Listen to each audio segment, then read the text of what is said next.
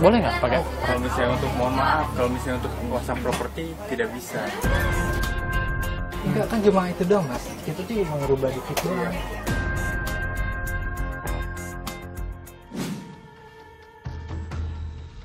Sebenarnya itu mau bicarain itu apa lamaran saya ke ke Rauda gitu.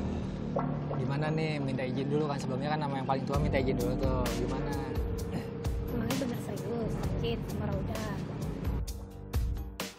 Oke. Ah, by the way, ini loh venue-nya. Serius di sini?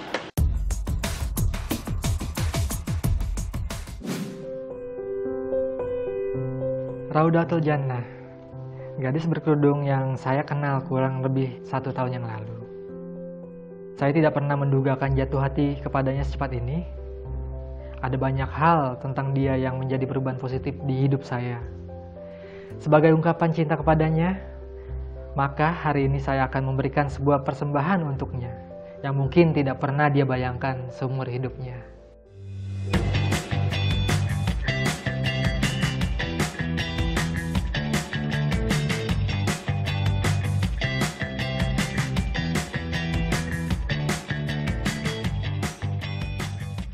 Di episode melamar kali ini, saya sudah berjanji untuk bertemu dengan pelamar kita Ramon di salah satu restoran di kawasan Ancol.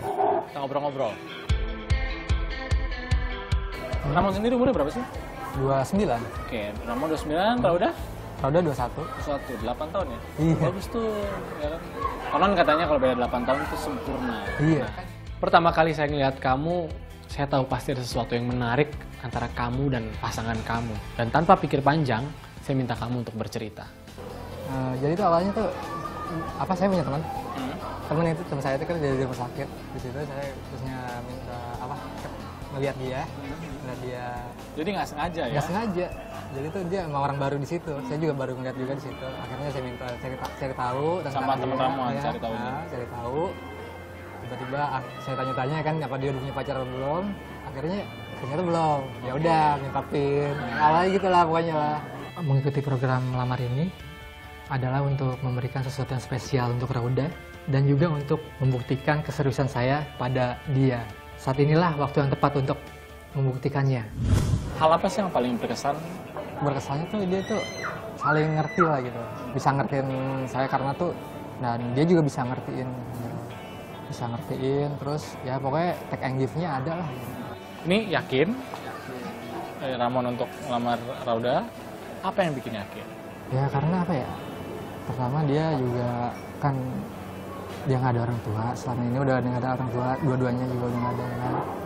dan saya juga pengen ngegantiin posisi kedua orang tua mereka apa ya orang tua dia Oke, jadi bukan hanya sebagai seorang pacar, calon suami, tapi bisa Nah. bisa jadi kakak juga, Nah. bisa jadi apa ya? Itu teman hidup tuh ya, kayak teman gitu. hidup itu Setelah mendengar cerita dari kamu, saya melihat ada sebuah niat yang tulus yang di mana kamu ingin menjalin sesuatu yang sangat serius dengan Rauda dan buat saya itu adalah alasan yang sangat tepat.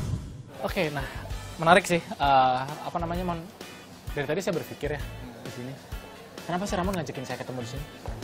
ya karena apa ya saya tuh pengen ngelamar tapi selama ini kan dia nih gak menganggap saya tuh gak bisa romantis Nah, nggak bisa romantis. Heeh. Pernah bikin surprise yang sebelumnya? sebelumnya bikin surprise tapi ketahuan mulu oke itu Oke. Nah, kenapa tempat ini? Ya, karena apa ya eh, romantis apa kesannya tuh kayaknya enak gitu terus kabin pesawat ya karena saya udah memiliki konsep sejak lama ingin melamar Rauda itu di dalam pesawat